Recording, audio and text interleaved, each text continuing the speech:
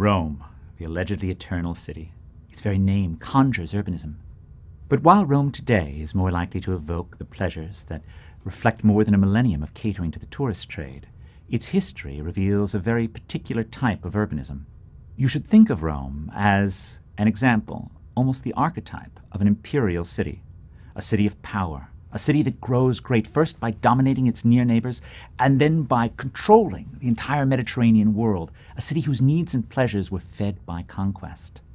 Rome is hardly the only imperial city. Every pre modern megacity was imperial, from Abbasid Baghdad to Tokugawa Edo, which is now modern Tokyo. In a simpler agricultural world, it was a lot easier to feed a million souls by forcing farmers to provide grain than by clever trading or industrious manufacturing. And that's how Rome grew. Rome's origins are, of course, the stuff of urban legend. One version, the Greek version, emphasizes Aeneas, the son of Aphrodite, who fled the fires of Troy with his aged father upon his back. His son, Ascanius, or Iulus, was the supposed ancestor of Julius Caesar himself.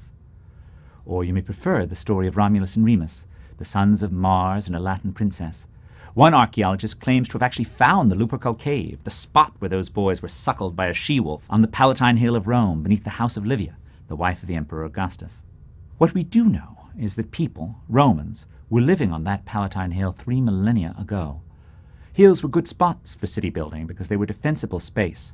Height enables urbanites to see their enemies from afar and gives an advantage in battle. And Rome's hills also had proximity to a river, the Tiber. Early Rome was also defended by walls. The Servian wall of the 4th century BC still exists. The advantage of sharing a wall creates a reason for crowding together. Infrastructure can be shared. According to myth, Romulus himself built a low wall for the city that Remus laughingly leaped over. Romulus killed him for his mockery. Moving from myth to history, we know that Romans gradually gained control over their region, over Latium, then over their peninsula, and ultimately over all of Europe. Lucius Junius Brutus overthrew the last Etruscan king of Rome in 509 BC and established the Roman Republic. This sturdy city survived a Gaulish sack in 390 BC. The Capitoline Hill was the redoubt that held out against the invaders. In 338 BC, Rome gained control over Latium, and for the next 50 years the city state fought to control the south of Italy, what had been known as Magna Graecia, Greek outpost. They finally defeated the fabled Spartan colony of Taranto in 272. The Greek cities of southern Italy had fallen to Rome's military might. By 146 BC, Rome had defeated Carthage, the Greek city states, and the Near Eastern Seleucid Empire, a holdover from Alexander's conquests. The Mediterranean would henceforth be a Latin lake, not one for Greeks or Phoenicians. Rome gained control over the granaries of Spain and later Egypt, and that grain could feed the growing population of an imperial capital. At the core of Rome's population growth was strength abroad and weakness at home. The city's armies were capable of dominating the Mediterranean, but the aristocratic republic was increasingly forced to provide ordinary citizens of Rome with bread and circuses. One of the heroes of the last Carthaginian War had two ambitious sons, Tiberius and Gaius Gracchus, who were elected tribunes, representatives of the poor Romans, in 133 and 123 BC respectively. They courted the support of their poorer neighbors by championing cheap grain for all the citizens of Rome.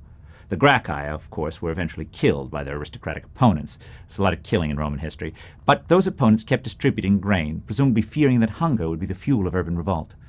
Eventually, the Clodian law made the grain distribution free. After fighting the social war, which sounds a bit like a battle with teen crumpets, against its Italian neighbors, Rome ended up extending the rights of Roman citizenship to all the free residents of their peninsula. This meant that any Italian could get free grain, as long as they came to Rome. And come they did. The grain roll ultimately swelled to 320,000, and that figure is often used as a basis for estimating Rome's late Republic population, often thought to be about 1 million. Of course, the city could only provide grain for hundreds of thousands because it had conquered so much farmland, because that farmland had become the property of the state. The massed population of Rome created an enormous health hazard. There are always demons that come with density, and Rome addressed those demons with legendary feats of engineering. Roman aqueducts were a tool for bringing unpolluted water from low density areas into the city. The Cloaca Maxima, Rome's famed sewer system, was started by the Etruscan kings Supposedly, it was the last of those kings, the one that Brutus overthrew, who started putting the sewers underground. Rome's imperial past shows in its architectural remnants. Columns, like Trajan's column, celebrate conquest. The magnificent sculptures that cover it tell the story of Trajan's defeat of Dacia. His men march with order, their discipline defeated the world. The column reminds everyone of what the emperor achieved.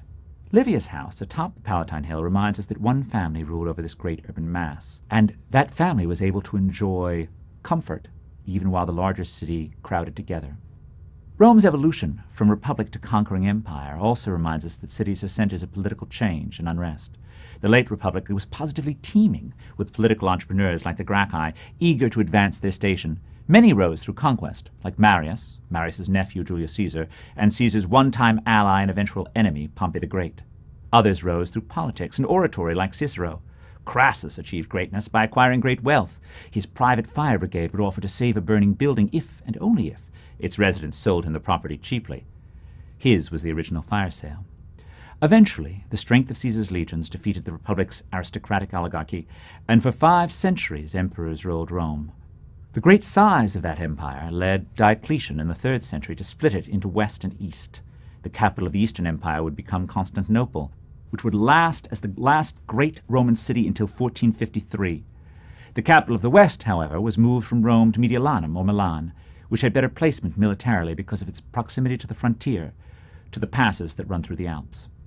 Rome began its long period of decline. Alaric and his Visigoths sacked the city in 410. Genseric sacked it in 455. Ricimer's own allegedly Roman troops sacked it yet again in 472. The city's population fell to a fraction of its former size. But Rome would have a second and third act. Constantine not only founded Constantinople, but helped make Rome a Christian empire. The Bishop of Rome would ultimately break with Constantine's heirs and their patriarchs in Constantinople.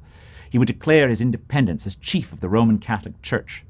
The wealth of that church, derived not from conquest, but from the contributions of the faithful, would rebuild a new city, a city centered on St. Peter's Basilica, not the Palatine Hill. And that city is highly visible today.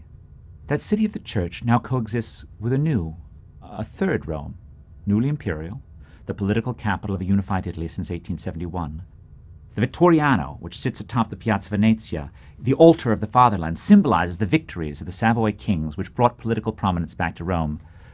Those kings are now buried in the Pantheon, that ancient architectural legacy of Rome. It's apt, I think, to end on the Pantheon, which has been a Roman temple, a Catholic church, and a royal tomb, a structural combination of all of Rome's history in one. Yet its beauty and remarkable dome has been an inspiration to architects and ordinary observers for centuries. It reminds us that just because a city is built on conquest doesn't mean that it can't bring enormous joy to millions. And so it is with Rome.